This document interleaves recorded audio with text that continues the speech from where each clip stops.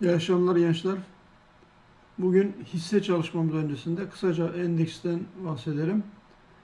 Endeks için yorumlarımızda bahsettiğimiz 10.620 civarındaki 9 EMA desteği bugün itibariyle test edildi. 9 EMA'nın altı görülerek tekrar 9 EMA'nın üzerinde kapatmamız güzel oldu.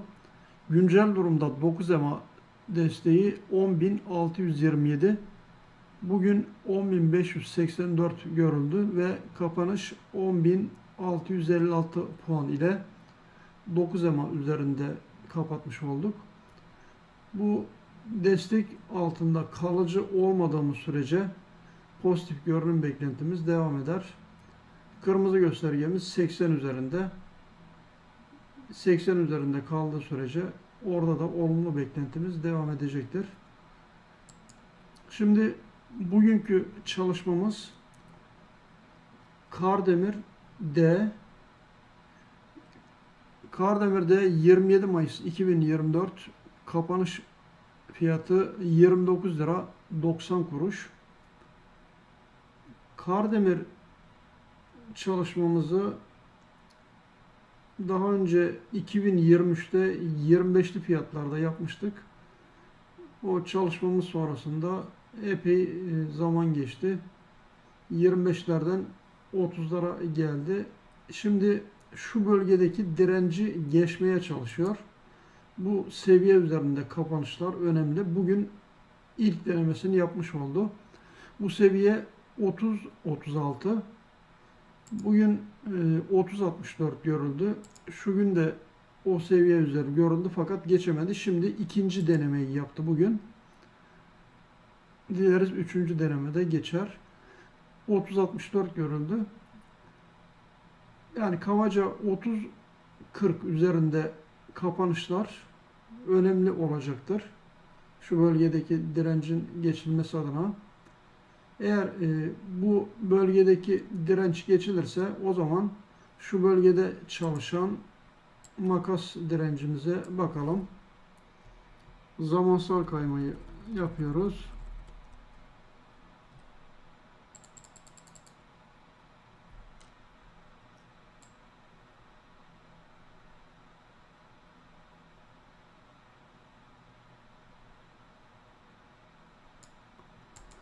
Evet, e, eğer bu bölge geçilirse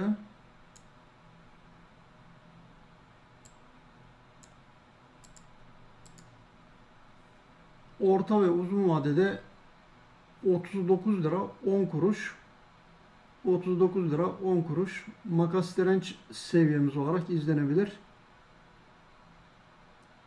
30 lira 40 kuruş üzerinde kapanışlarda bu beklentimiz güçlenecektir. Bu durumda 39 lira 10 kuruş makas direncimiz olur. Hisseye dolar bazlı bakacak olursak gençler dolar bazlı baktığımızda geriye doğru şu makasımızı silelim. Bakın geriye doğru bakarsak çok belirgin şekilde bir makas var dolar bazında da. 1, 2, 3 şurada bir o deprem sırasındaki çıkış olsa gerek. Evet onu saymazsak hep çalışan bakın 1, 2, 3, 4, 5, 6 kez çalışan bir makas var. Bu dolar bazlı makasımıza baktığımızda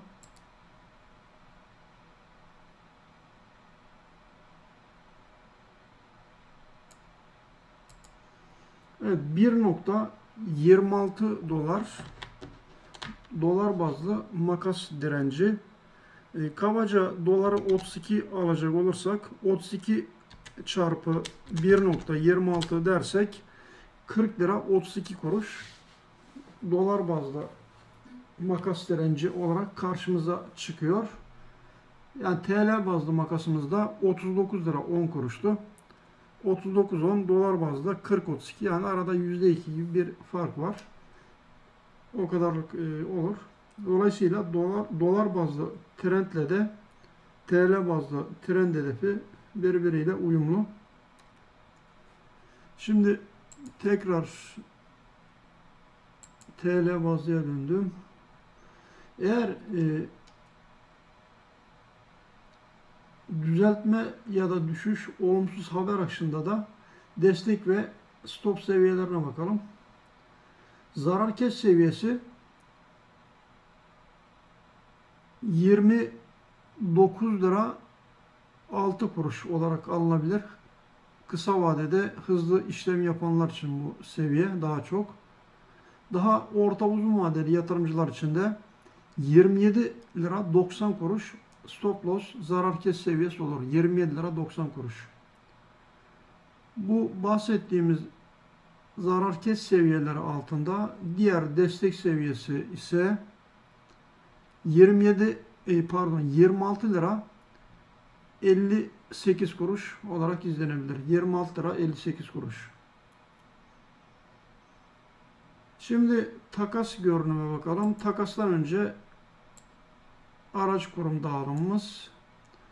Bugün ilk 5 kurumda neredeyse eşit kapanmış. Yani 0.01 çok az satıcılı. 444 lot. Alım tarafında Mexa, e, QNB, Gedik Info var. Ünlü menkul ilk 5'te. Satım tarafı Garanti Yatırım Finansman Oyak.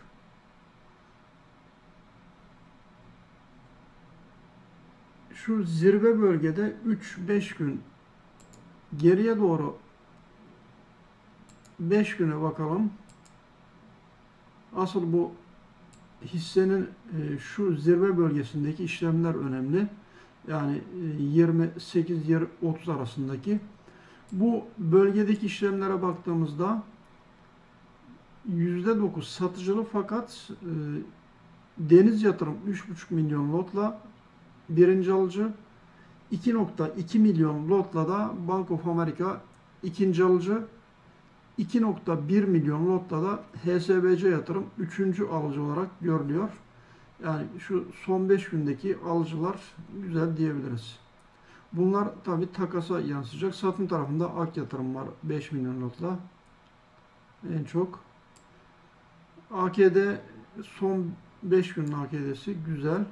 Bunlar tabi takasa olumlu yansıyor. Takasa dikkat edersek sarı göstergemiz belirgin şekilde bir yabancı alım var. Özellikle son bir ayda şu sert hareketlerin görüldüğü yerde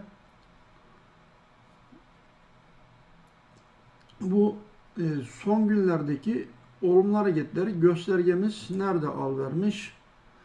5 Nisan'da 23 lira ortalamayla kapadığı günden bu yana göstergemiz bu orta vadeli görünüm veren göstergemiz 23 liradan bu yana 30 liraya olan hareketi baştan sona kadar getirmiş. Yani %30 yapar kabaca. Bu %30'luk hareketi göstergemiz baştan sona kadar getirmiş görünüyor. Şimdi e, haftalık periyotta da bakalım. Durum nedir? Evet haftalık periyotta da göstergemiz şu bölgedeki e, seviyenin üzerinde hareket etmesi olumlu. Yani şu tepeye göre daha güçlü olduğunu gösterir bu seviyenin. Eğer indikatör şu tepeden daha aşağıda olsaydı o zaman e, çok hoş değil diye düşünürdük. Bu tepedeki seviyesini geçmiş, geçmesi olumlu. Yani haftalık periyotta e, doyuma ulaşmamış da diyebiliriz göstergemize. Evet, şimdi takas görünüme tablo olarak bakalım. Yani şu hareketi yabancılar yapmış adeta. Gayet güzel. Takas tablosuna baktığımızda günlük takasta 4.5'a 6 milyon alıcılar güçlü. Deniz yatırım ilk sırada alıcı. Yatırım fonları OYAK yatırım Deutsche Bank ilk 4'te. Satım tarafında emeklilik fonları Citibank yabancı var. Yani günlük takas e, alıcıların çok olmasına rağmen yabancı satım biraz daha çok. Haftalık takas 8.7 milyona 12.3 milyon alıcılar güçlü. E, daha da önemlisi 4.6 milyonla Citibank yabancı ilk sırada. ikinci sırada 4,5 milyon Deniz Yatırım. Ve 5. sırada 560 bin notta Deutsche Bank yabancı var. E, toplamda 5 milyon e, 100 bin kabaca yabancı alım var haftalık takasta. 5 milyon 100 bin not. Aylık takasta daha da güzel bu durum. 35'e 48 milyon ile alıcılar güçlü ve daha da önemlisi 25 milyon 401 bin lotla Citibank yabancı ilk sırada yer almış. 25 milyon 401 bin lot. Yani şu son 4 haftada yabancının e, 25 milyon mal alması önemli. Makas direnci seviyesine e, ışık tutan bir takas görünümü diyebiliriz. 25.4 milyon Citibank yabancı alımı. Satın tarafında 11 milyon lotta TEP yatırım var. İş yatırım ikinci sırada. Alım tarafında Citibank yabancının arkasından ziraat yatırım e, ve yatırım fonları var. Toplam takasın 62.83'ü ilk 5 kurumda.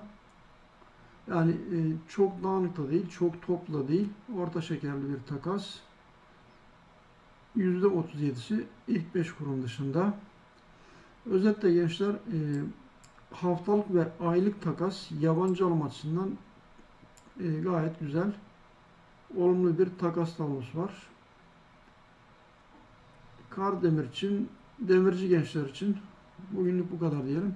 Her şey gönlünüz olsun gençler. İyi akşamlar. İşiniz gücünüz rast gitsin.